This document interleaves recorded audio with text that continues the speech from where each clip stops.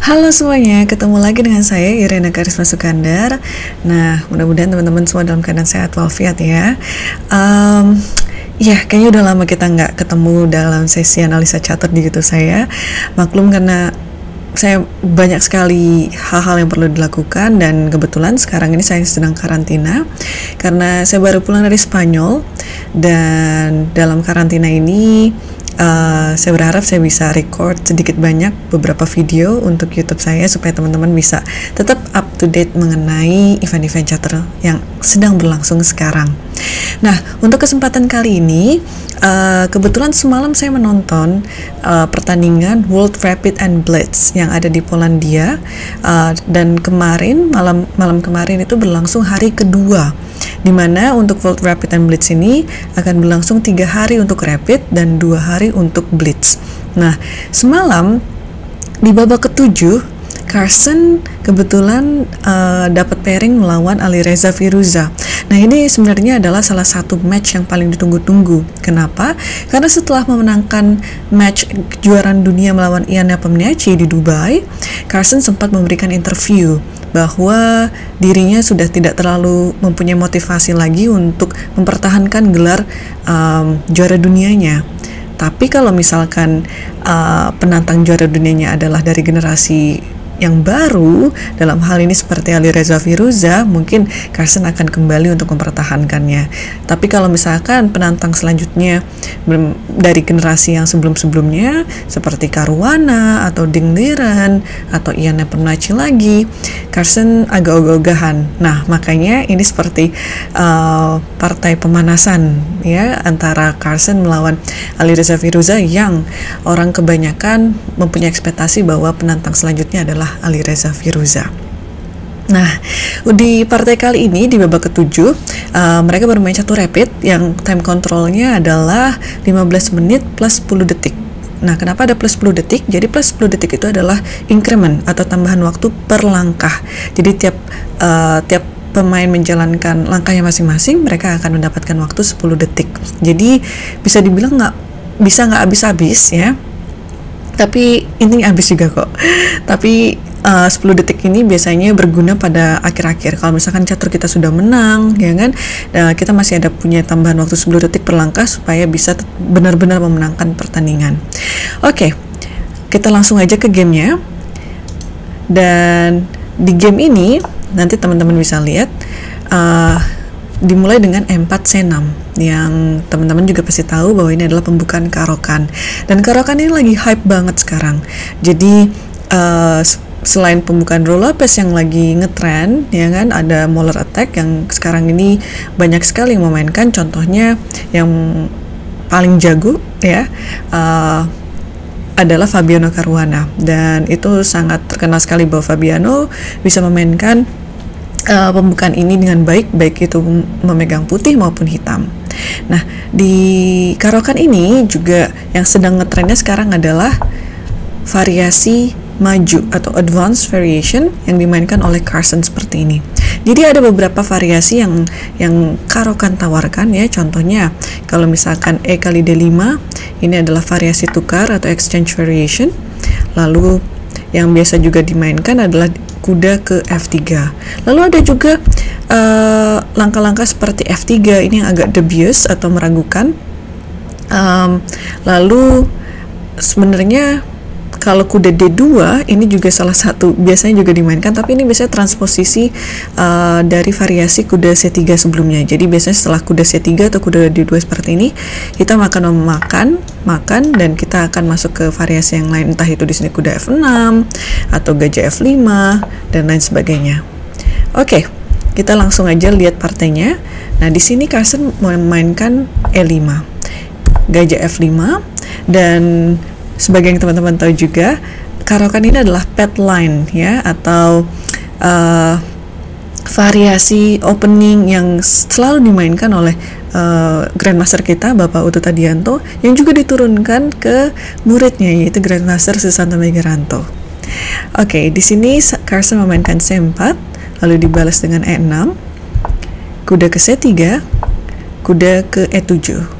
Nah, ini masih semuanya dalam tahap teori ya. Jadi, sebagaimana kita tahu bahwa dalam uh, permainan catur, terutama dalam opening, kita harus bermain di pusat, lalu mengeluarkan buah. Jadi, kalau misalkan teman-teman bingung teori atau belum uh, benar-benar belajar teori, yang terpenting adalah kita mengerti ya, menghafal dan mengerti akan prinsip-prinsip catur.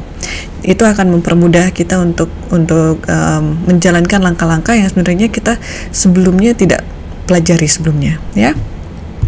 Oke, H3 ini biasanya uh, variasi seperti ini ingin menangkap gajah petak putih yaitu gajah di F5. Jadi misalkan kalau kuda ke G6, nah ini bisa dimajukan ke G4. Lalu kalau gajah ke sini bisa kena ya. Jadi uh, ini adalah salah satu langkah profilaktik yang putih lakukan. Jadi uh, tujuan kuda ke E7 adalah ingin mengeluarkan buah ya dan ke mana lagi kalau bukan ke G6. Jadi langkah H3 ini adalah supaya uh, mencegah kuda tersebut untuk berkembang. Oke, okay, kuda ke D7, kuda F3, gajah G6. Nah, jadi daripada kudanya ini berkembang ke G6, uh, di sini kuda kemungkinan besar akan berkembang ke F5. B3 dijalankan, kuda F5, gajah E2, gajah B4. Nah, di sini putih mempunyai dua langkah yang uh, sama baiknya yaitu gajah ke B2 seperti yang Carson jalankan atau gajah ke ke D2 seperti ini. Uh, itu hanya tergantung selera dan bagaimana nanti kita mengembangkan buahnya setelah setelah langkah tersebut. Jadi Carson memilih untuk mengembangkan gajahnya di B2, lalu rokade dan rokade. Dan di dalam posisi ini uh, tuntas sudahlah opening dari putih maupun hitam. Keduanya sudah bermain di pusat, keduanya sudah mengeluarkan buah-buah minor, dan keduanya sudah rokade. Dan sekarang kita lihat kelihayan masing-masing pemain di babak tengah. F6 ini adalah salah satu langkah tipikal yang juga mungkin kalau teman-teman bisa uh, mengerti teori di Prancis ini adalah seperti variasi uh, Tarash ya. Yang di mana juga sebenarnya struktur pionnya pun hampir mirip Karokan dan Prancis ya itu hampir mirip. Dan setelah F6 A4 sorry A3 lalu gajah A5 dimakan D5-nya dan setelah dimakan dimakan F6. Itu karena uh, hitam mempunyai apa namanya uh, kekurangan space ya atau ruang gerak. Maka dari itu F6 dijalankan supaya ruang geraknya itu lebih terbuka. Tapi konsekuensinya adalah dengan memainkan F6 petak E5 ini akan menjadi salah satu petak yang akan selalu um, dikuasai oleh putih dan ini adalah juga salah satu tipikal idea atau ide tipikal yang ada di Prancis ya di mana petak tersebut akan dikuasai dikuasai dan itu akan menjadi salah satu petak masuknya buah-buah putih menuju teritori hitam. Nah, tapi bukan berarti dengan menguasai petak itu putih akan menang. Hitam juga akan selalu melancarkan counter attack-nya. Jadi di sini bagaimana uh, putih dan hitam masing-masing menyerang dan bertahan dengan baik. Oke, okay, benteng C1 ini perlu karena setelah mengembangkan buah-buah minor, uh, kita harus segera mungkin mengembangkan buah-buah major ya yaitu menteri atau benteng. Kuda ke H4 dimakan Menteri Kali H4. Nah, sekarang pertanyaannya adalah uh, kalau tadi saya bilang petak E5 itu harus dikuasai, sedangkan sekarang kudanya sudah ditukar dan tidak menguasai petak E5 lagi. Ya, dalam waktu yang dekat seperti itu memang sekarang uh, putih tidak benar-benar menguasai petak E5 tapi dalam waktu yang agak jarak yang agak panjang ini akan menjadi salah satu target dari putih dan ini adalah juga salah satu antisipasi, ide antisipasi yang hitam lakukan, yaitu memperlemah petak E5 ya uh, dalam arti supaya putih tidak benar-benar menguasainya, yaitu melalui pertukaran buah-buah. B4 dilakukan dan di sini gajah harus pergi ke D8. Kenapa? Karena kalau gajah ini ke B6, kuda bisa loncat ke A4 lalu loncat lagi ke C5 atau kalau misalkan gajah ini ke C7 yang sebenarnya adalah diagonal paling bagus untuk gajah ya karena menyorot dari B8 ke H2 dan mungkin setelah gajah C7 menteri akan ke F4 dan mengancam mati satu langkah di H2 tapi di sini giliran putih yang jalan. Kalau ini dilakukan, gajah C7 yang akan terjadi adalah kuda kali D5. Dan di dalam posisi ini, putih akan menang satu pion dan saya rasa cukup bagi Carson untuk memenangkan permainan ini dengan menang satu pion. Maka dari itu, uh, ya setelah kuda kali D5, E kali D5, lalu benteng kali C7 dan satu pionnya um, cukup mutlak ya untuk putih. Nah, maka dari itu setelah B4, kita menjalankan gajah ke D8. Dan di sini gajah ke G4 mulai mencoba untuk menguasai jalur E ya. Jadi bukan hanya untuk di uh, petak E5 atau mengancam E6 tapi sebentar lambat laun uh, putih akan mencoba untuk menguasai jalur E karena bisa dilihat dari struktur pion yang ada bahwa pion E6 ini adalah pion yang terbelakang yang tidak bisa dijaga oleh pion lain maka dari itu ini adalah salah satu target serangan Oke, okay, gajah F5 dijalankan, gajah kali F5, benteng kali F5, menteri E2. Dan menteri ini mengancam E6 dan juga menguasai jalur E. Kuda F8 dijalankan, kuda ke D1 yang sebenarnya ini adalah sedikit uh, langkah yang kurang tepat. Di sini mungkin kuda A4 akan jauh lebih bagus ya. Uh, gunanya adalah untuk meng, uh, mengancam petak C5 yang kemungkinan besar setelah petak C5 bisa manuver ke D3 dan juga menjaga petak E5 jadi lebih aktif ya dan kalau misalkan B6 dijalankan ini juga tidak uh, apa namanya tidak ber, arti apa-apa. Benteng bisa masuk ke sini ya. Seperti itu. Dan kalau menteri ke C7 nanti bisa ada benteng E1 dan lain sebagainya. Oke. Okay. Uh, tapi Carson menjalankan kuda ke D1. Gajah ke B6 yang ini adalah kurang akurat. Harusnya di sini uh, Stockfish bilang H5 adalah yang terbaik. Cuma ya uh, ada perbedaan besar antara pemikiran engine dan pemikiran manusia. Terlebih ini adalah bermain catur rapid. Jadi di sini Alireza tidak punya waktu yang panjang untuk berpikir. Dan di dalam posisi ini Alireza hanya punya waktu kurang dari 3 menit. Kuda E3 benteng ke G5. Nah, ini adalah salah satu uh, kesalahan terbesar yang Ali Reza lakukan um, dan di dalam posisi ini seharusnya Ali Reza kembali saja benteng ke F7 ya. Karena benteng di jalur G walaupun terlihat agak agresif tapi tidak mempunyai um, titik serangan apa-apa. Dan malah hanya akan membuat bentengnya itu berada di petak yang salah ya. Jadi kita bisa lihat setelah uh, benteng G5 Carson memajukan pion ke F4, benteng ke G3. Setelah Raja H2, tidak ada sama sekali serangan yang bisa dilakukan oleh hitam. Dan di sini um, hitam harus menjalankan benteng G6 kembali karena kalau misalkan ini putih jalan lagi, menteri akan menuju ke F2 dan dan benteng di G3 kena pin. Ya, dan dalam langkah selanjutnya putih akan menang materi. Maka dari itu, benteng G6 dilakukan, lalu kuda ke G4. Nah, sekarang kuda sudah mulai menguasai petak E5, seperti yang tadi saya sudah bilang. Lalu menteri ke D8, A4. Jadi dalam main catur bukan hanya kita bermain di sayap raja dan pusat, tapi juga diperhatikan sayap menteri. Dan bagaimana menyeimbangkan ketiga bagian ini uh, itu dibutuhkan pengalaman dan latihan ya. Jadi kita jangan terpaku dalam satu sayap, satu sisi tapi juga harus melihat keseluruhan uh, petak-petak uh, keseluruhan papan yang ada. Gajah C7, B4 ke B5 dan ini gunanya adalah supaya um, mempunyai diagonal yang baru untuk gajah. Jadi contohnya sewaktu-waktu gajah bisa menuju ke A3 dan diagonal A3 F8 itu bisa dikuasai oleh gajah. gajah D6 sebagai langkah pencegahan akan ide putih tersebut, lalu benteng ke C3. Dan benteng C3 ini gunanya multifungsi, ya. Jadi kita uh, sebagai pecatur kita masih uh, harus membuat lawan bingung. Jadi benteng C3 ini sewaktu-waktu bisa ke E3, sewaktu-waktu bisa ke G3. Dan kalau misalkan pion ini dijaga, mungkin benteng yang ini bisa masuk ke C1 ya.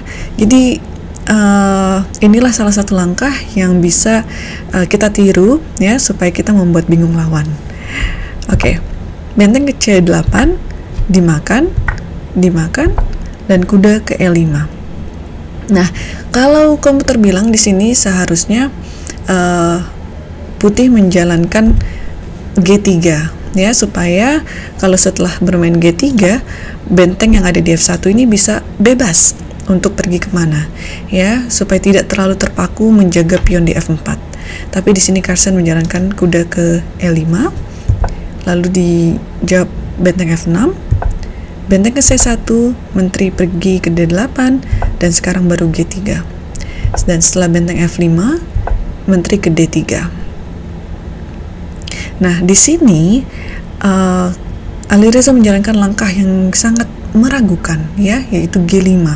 Yang di mana seharusnya di sini kuda di E5 ini dipukul oleh gajah.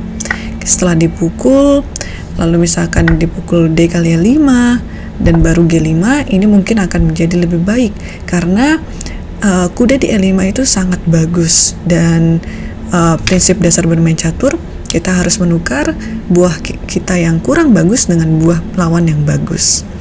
Oke. Okay. Dan setelah kita kembali ke gamenya ya, menteri ke D3 G5. Nah, di sini Carson buru-buru menyelamatkan kudanya karena uh, Carson sadar bahwa kuda tersebut sangat bagus dan uh, sebaiknya tidak ditukar dengan gajah.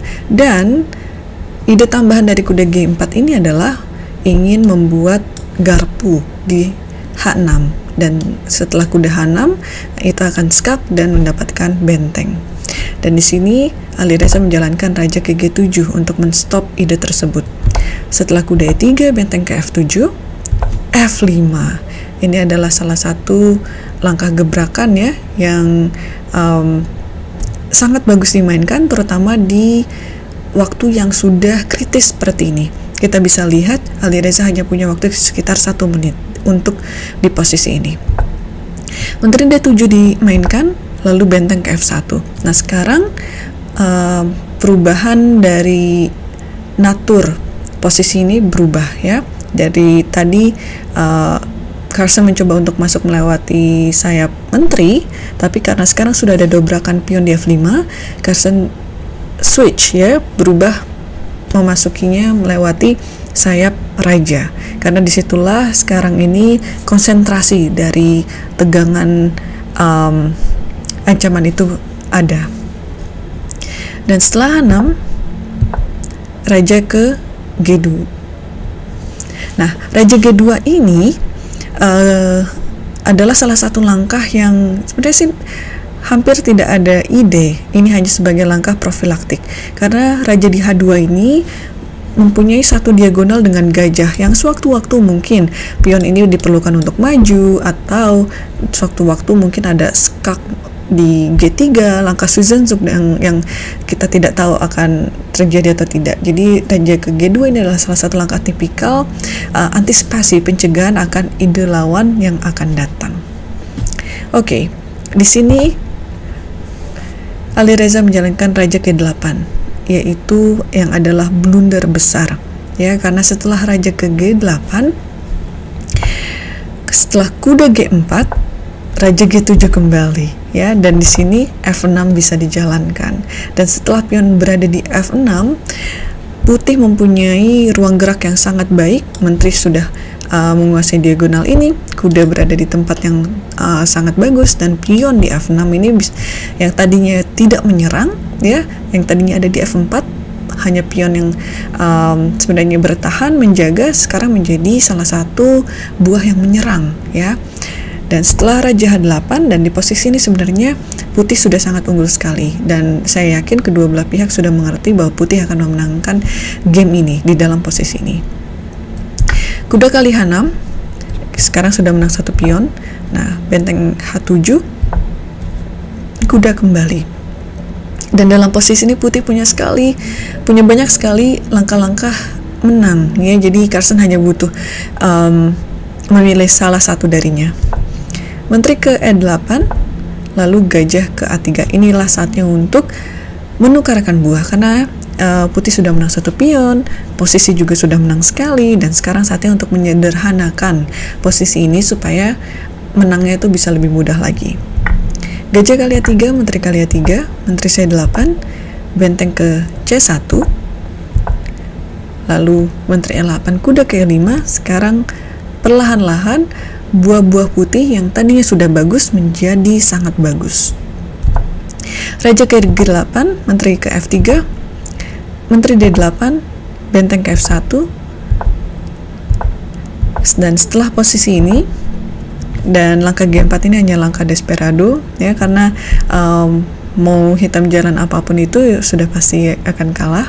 Dan sini dan di sini tidak dimakan oleh Carson dimajukan saja ke H4 dan setelah benteng H5 skak kuda ke F7 raja ke G8 kuda ke G5 dan di sini Ali Reza menyerah. Karena walaupun terlihat hanya kalah satu pion tapi posisinya ini sudah sangat kalah. Dan langkah selanjutnya yang kemungkinan besar akan dilakukan adalah memajukan F7 lalu skak ke E5 ya karena setelah F7 raja akan ke G7 dan skak E5 nanti mungkin ada skak lagi di F6 dan skak mat ya.